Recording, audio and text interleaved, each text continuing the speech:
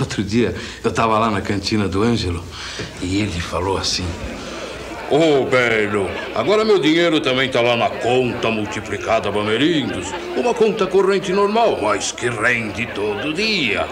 Prato cheio para um dono de restaurante. Esse Bamerindos sabe fazer conta. conta multiplicada Bamerindos. A conta que multiplica seu dinheiro.